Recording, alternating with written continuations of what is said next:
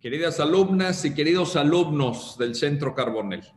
Permítanme antes que nada dirigirme a quienes han sufrido de manera personal o en su entorno familiar afectaciones a la salud derivadas de la pandemia. Les deseo a ustedes una pronta recuperación y que en la medida de lo posible consigan a la brevedad recuperar ese bien tan apreciado que es el bienestar físico y emocional. Estamos llegando al final del que para muchas personas ha sido el año más difícil de sus vidas.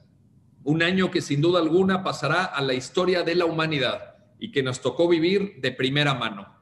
El 2020 formará parte de los sucesos extraordinarios en el devenir de la humanidad, como lo han sido años tan emblemáticos como 1917, 1945, 1968 1989, 1994 o el año 2001. Son años en los que lo extraordinario sucede y que se viven solamente una vez en la existencia de una generación.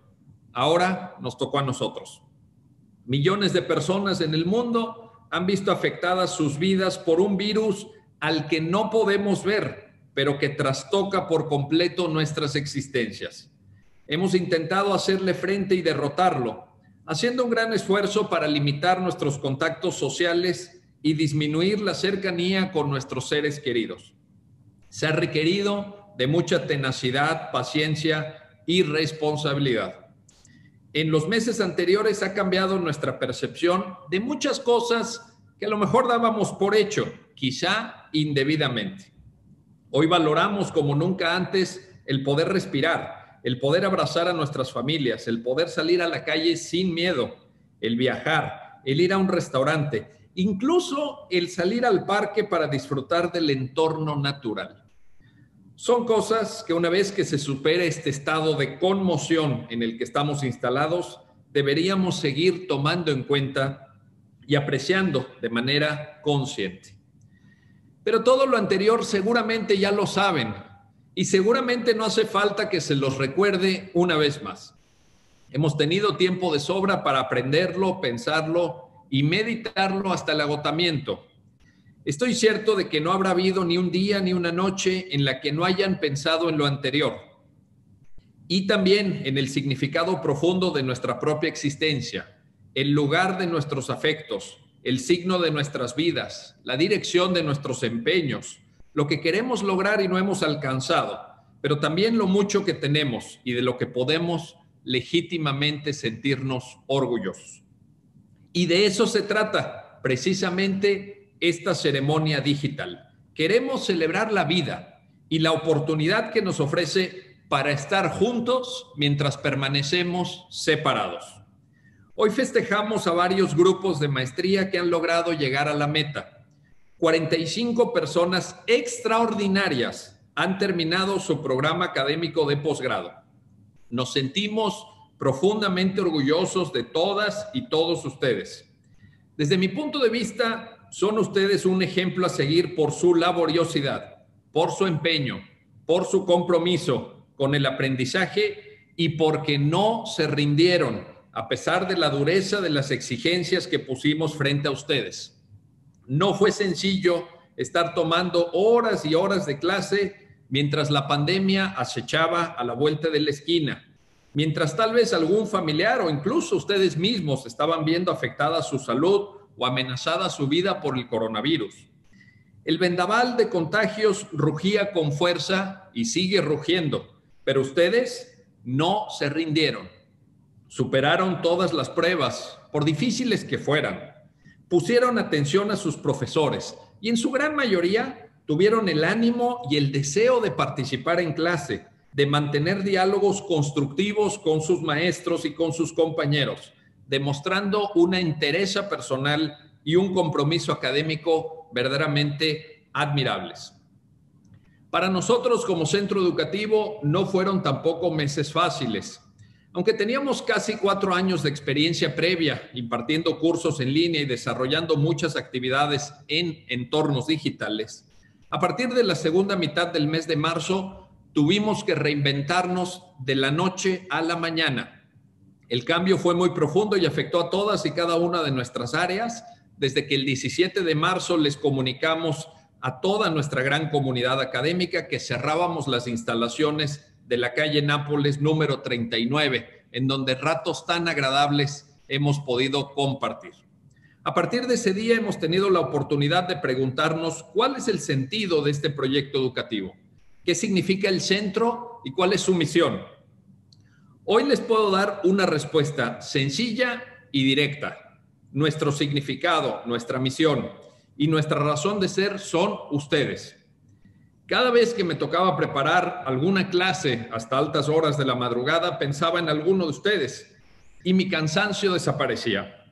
Cada vez que nos preguntamos si valía la pena abrir un nuevo diplomado o ofrecer algún curso nuevo en línea, el pensamiento de las decenas de alumnos que se han inscrito a nuestras anteriores convocatorias borraba cualquier duda.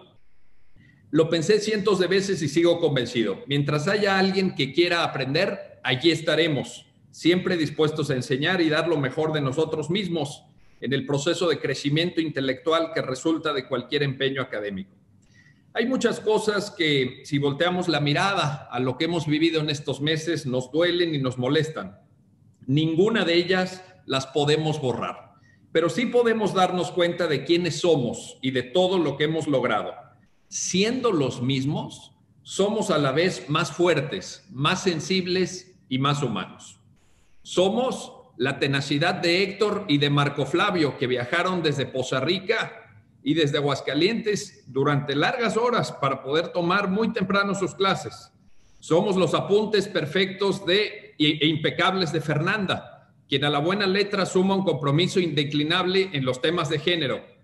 Somos la complicidad conyugal y el esfuerzo compartido de Karina y Ricardo, quienes también venían a clase desde muy lejos y siempre lo hacían con una sonrisa y una disposición fabulosa para aprender. Somos la juventud de Jaime, somos la responsabilidad y la capacidad de escuchar de Yuriri, pero también somos el talento y el liderazgo de nuestro equipo de trabajo en el centro. Somos el empuje de Raúl, la atención de Karina, el seguimiento permanente de Monse, la amabilidad de Betty, la pulcritud de Mateo y de Fernanda y la capacidad organizativa de Mónica.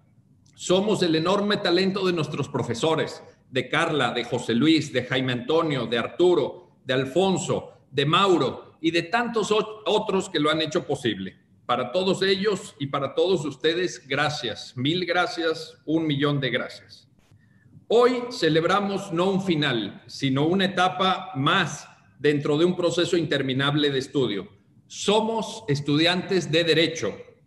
Lo hemos sido, lo somos hoy y lo seguiremos siendo el día de mañana, el año que viene y siempre mientras tengamos vida. Nuestro compromiso con la ciencia jurídica no termina nunca, no puede terminar. Queremos aprender y queremos seguir creciendo. Eso es también aquello que somos y ninguna circunstancia adversa nos lo puede arrebatar. 2020 será recordado como el año en el que perdimos muchas cosas, pero también en el que ganamos en sabiduría, en afectos, en proyectos y en ilusiones. Ningún virus, ninguna pandemia, ninguna dificultad nos pudo derrotar. Les expreso a todos los graduados y a sus familias nuestra más efusiva felicitación. Felicidades por haber llegado hasta aquí. Gracias por haber confiado en nosotros para sus estudios de posgrado. Hemos hecho el mayor de nuestros esfuerzos para estar a la altura de sus aspiraciones hemos podido enseñarles muchos temas jurídicos, pero ha sido mucho más lo que ustedes nos han enseñado a nosotros sobre el valor de la amistad, sobre la fortaleza del carácter y sobre el significado del compromiso. Por todo ello, también les doy las gracias a título personal y en nombre de todos los que trabajamos en el centro. Muchas felicidades, muy feliz Navidad para todas y todos y lo mejor para el año que está por comenzar, que será el año del renacimiento. Enhorabuena.